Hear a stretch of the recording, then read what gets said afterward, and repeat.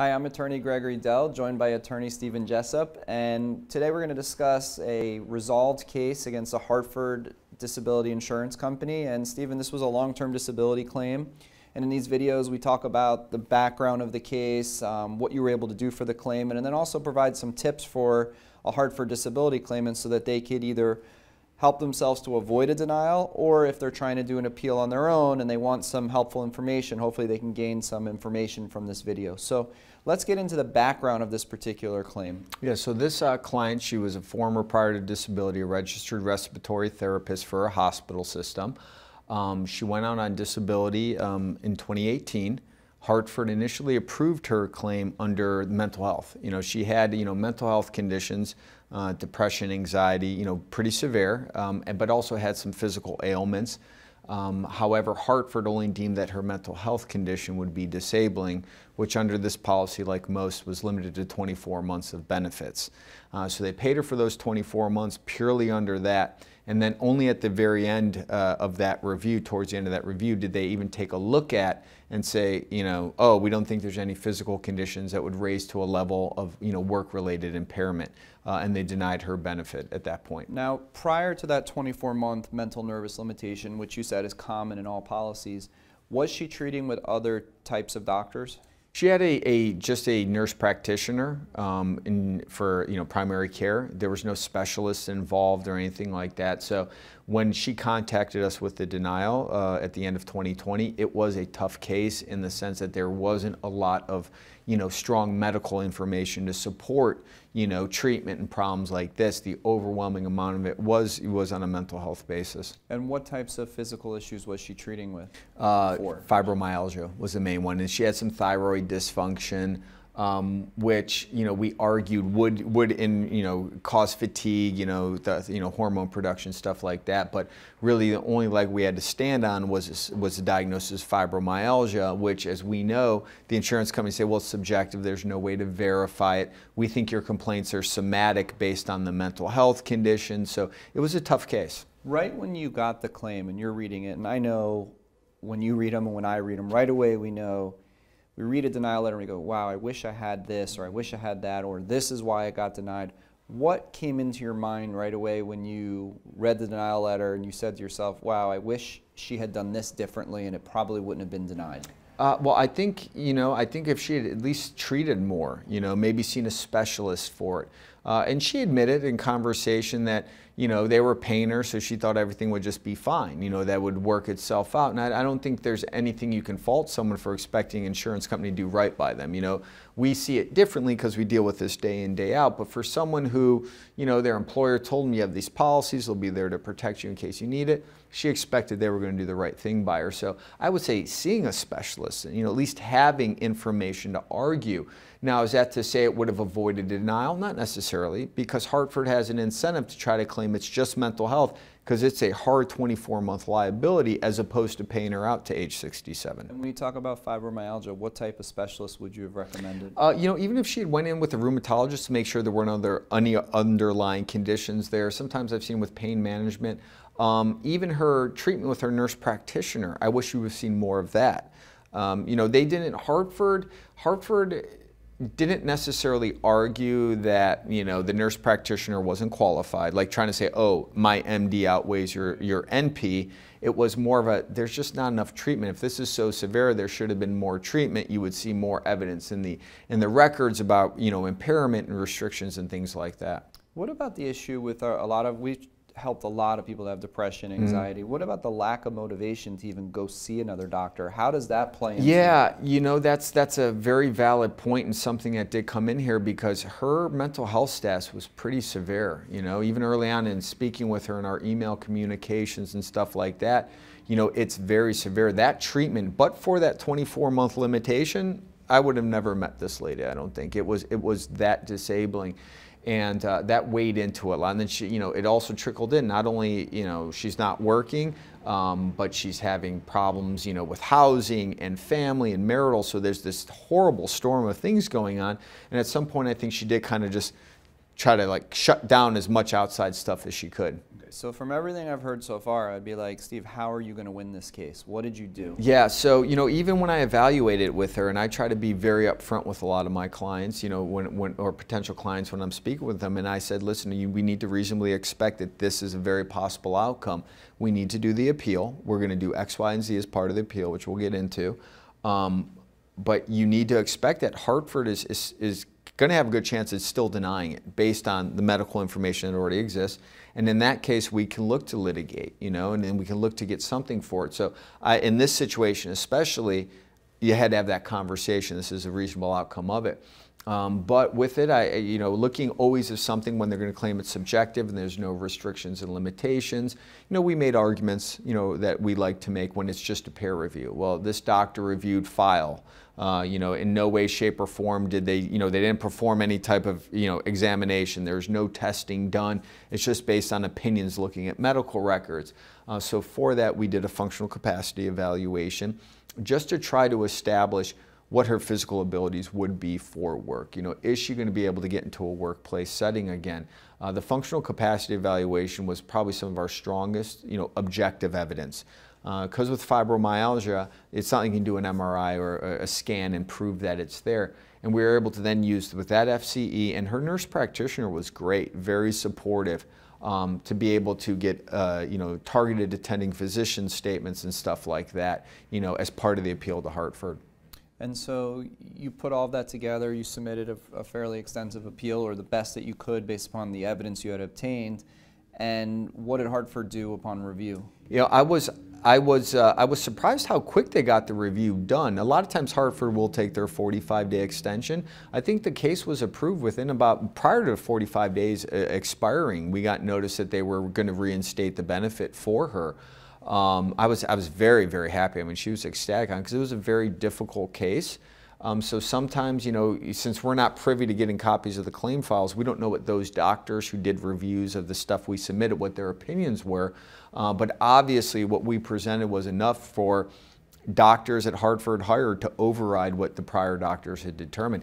Not only the doctors that denied the case at the 24 month, but the initial doctors who said there's nothing here physically. So two sets of, of eyes had already looked at this and said there was nothing here to disable her physically speaking. Now, did you have an issue in this case where you had to prove that the fibromyalgia was primary and the depression was secondary to the fibro as a disabling condition, or did you just have to prove that there was something else physical that was disabling. In this situation, I had to prove it was the fibromyalgia disabling because there was no question that the mental health aspect was. The mental health aspect didn't derive out of the fibromyalgia. And Hartford was looking at, if anything, the fibromyalgia was a somatic manifestation of the mental health. Um, so this one, I tried to put blinders on as to any of the mental health history and just focus on what information we had to support the fibromyalgia diagnosis and the restrictions stemming from it. Some of the mental nervous um, limitation definitions say that if your mental nervous condition um, is causing or contributing mm -hmm. to your mm-hmm. disability, then you'll be limited. Did you have that particular language in this disability policy? Not in this one, not in this one, and that's always a very troubling uh, thing because there's no question it's contributed to. Um, strangely, I have found through the years that claims and at the appeal level a lot of times I don't know if it's not savvy enough they don't make that argument, but I see lawyers, if we're in litigation, make that argument. Hey, it's, it's contributed. This is the language in the policy. There's discretionary authority in the policy. We paid out the 24 months. This didn't have that. Um, so I didn't have to worry about that. And if it did, again, blinders. We're not even going to consider mental health or even how they define it for purposes of that appeal. You said you see lawyers make this caused or contributed to argument in litigation. If it was never made in the appeal, is there any weight or validity to the uh, lawyer arguing it in, in litigation? Well, in the sense that it's policy language. So if they look at policy language, you know, and a judge is going to just strictly construe the policy language in favor of the interpretation of the insurance company, it's a big problem. Uh, Unum's a different company altogether, but they have language in their policies that they can cut you off you know, in the first 24 months, if they think you can do part-time work and choose not to in your own occupation, and then after that in any occupation, it's a thing you don't see argued a lot in their denials, right. but it is something to always be concerned about for the process of litigation because the plan documents are there to be argued. So it is a legal nuance that we deal with all the time, so it's something that people should be aware of, especially if you don't have a Hartford policy. That I think the tip takeaway from this is you really want to treat with a doctor that specializes in your particular physical limitations so that you can make it where your physical becomes the primary. Because if the depression stays, nine out of 10 times they're going to say that you're limited by that right. mental nervous limitation.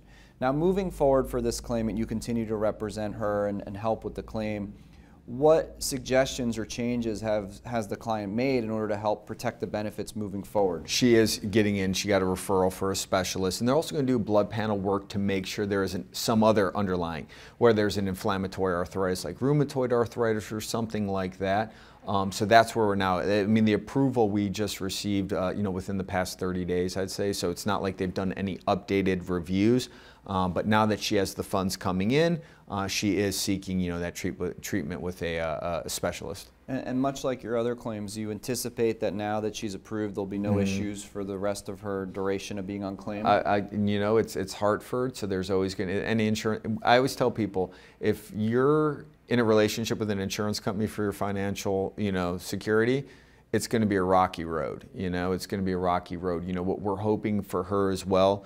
Um, you know, working with uh, her Social Security attorney, we're waiting for a decision on that. You know, and Hartford does engage in lump sum settlements, so I, I think for her and just because that mental health component, regardless if they don't have to pay for it, is such a huge impact on it that the stress of having them in her life is, is very troubling to her. So maybe eventually try to transition her to a lump sum settlement, you know, in the not too distant future. And since you mentioned Social Security disability, what impact, if any, does that have on her ability to remain on claim with Hartford?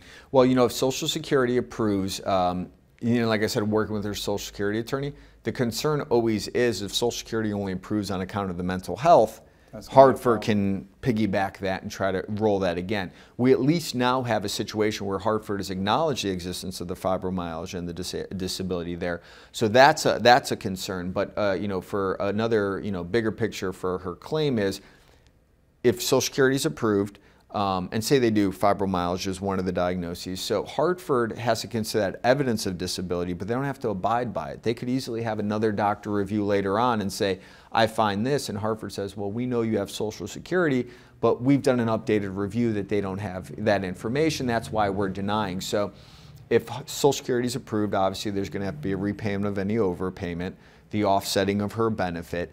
In a situation like her, since I've been with her for now a little while, um, if that comes through, uh, I would almost recommend, and her and I have discussed, when submitting the overpayment repayment, contemporaneously looking for, you know, indicating for a lump sum settlement. But this claim shows the importance of we don't handle Social Security disability mm -hmm. appeals, but this shows the importance of you working with the Social Security disability lawyer because if Social Security does do primary depression mm -hmm. as a mm-hmm. disabling condition, Hartford's going to take that and likely try to cut her off and say, well, they didn't really say that the fibromyalgia was disabling. Mm -hmm. So now the evidence that you built up has to be used by the Social Security lawyer to try to and, and communicate to the Social Security lawyer, you need to make the fibromyalgia primary with secondary symptoms of depression.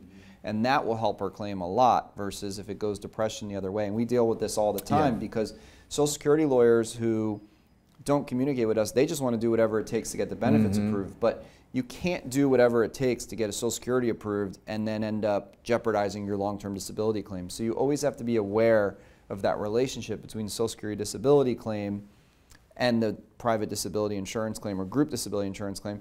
Also, we see the same issue at workers' compensation claims because you have all these different um, types of sources of benefits, but there's different eligibility requirements. And if you don't try to um, merge all of them together for the best interests of all the policies, then you can get into a problem. So it's good that you're working with her Social Security lawyer to help protect her Hartford benefits and make sure she gets Social Security disability.